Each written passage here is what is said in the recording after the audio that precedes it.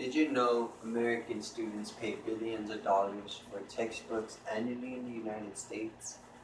Hello, my name is Christian Garcia Hernandez, and I am here to tell you why we should be getting textbooks for free and online.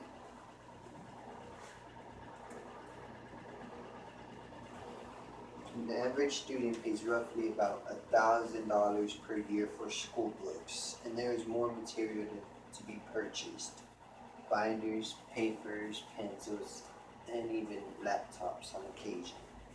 By having free access to books, students will be able to save up for other important things like a vehicle or classes for next semester. First, I will discuss the cost of textbooks. Then I will include some of my personal experience with textbooks. And finally, I will discuss why it should be for free and online. Students in any college or university need textbooks for almost every course. Sometimes deciding to buy them is in our mind and we ask ourselves, do we really need them? With students having to pay $1,000 per year, which is 500 a semester, students are trying to complete courses without the books. They should try to find ways to get their material cheap as possible or free if they could. Notice the difference in community college per year and the four-year college. There's more in the four-year community, uh, I mean four-year university and colleges. And most of the staff agree students pay more than what they did when they went to school. This chart shows ways students waste money on textbooks, which actually happens.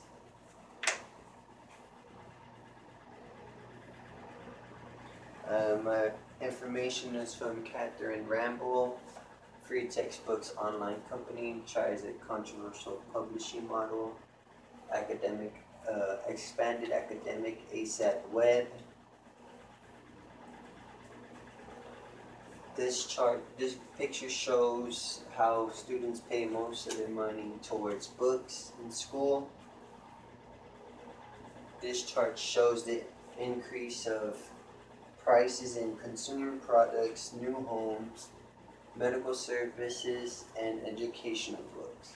As you see, the one with the most increase is educational books with 812% over the last 30 years.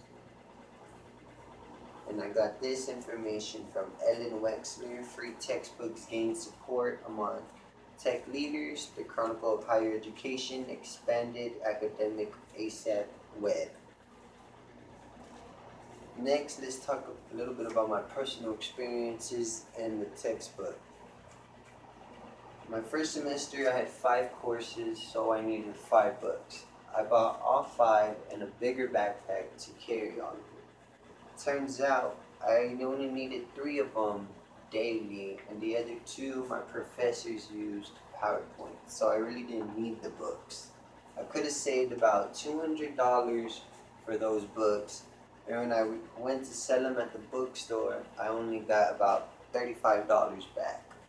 So don't ever sell them at the bookstore. If anything, try to sell them to another student. You'll get more money and help a fellow student.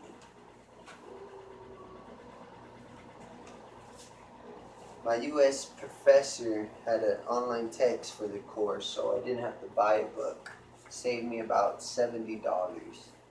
So ask your professors ahead of time. For my algebra class, I bought a used book to save from buying a new one. Turns out I needed an access code, so I had to buy a new one. So when I went to return my used one, I have to wait a week and a half to get my new one because they were out of stock. Everyone was doing their work while I waited a week and a half to start my first chapter. And finally, let's talk about the easy access and other ways for books. Virginia has a program called the Z Degree, which allows 50,000 students to use textbooks for free. This is expected to save them over $5 million the first year. More cities and states should adopt this program to help students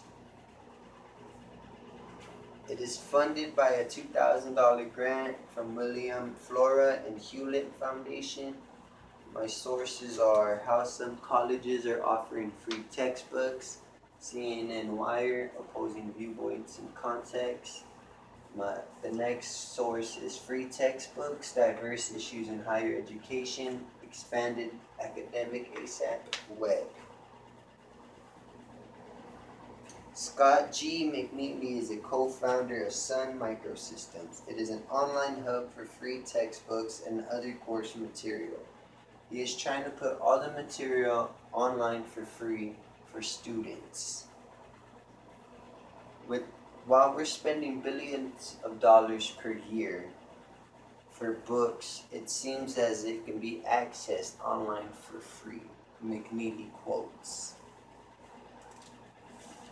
If all texts were online like my history class, then I would save thousands, and so will other students. I got this source uh, information from Ashlee Vance, $200 text versus free. You do the math. Opposing viewpoints in context. In conclusion, the textbooks are way too expensive for students and should be offered online for free.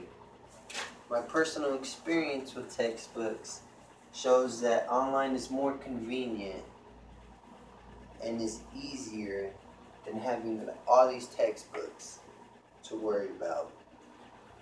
Also, carrying them to class was unpleasant. The online material is way better, a, a better way to go, and most of the time can be accessed for free. Thank you.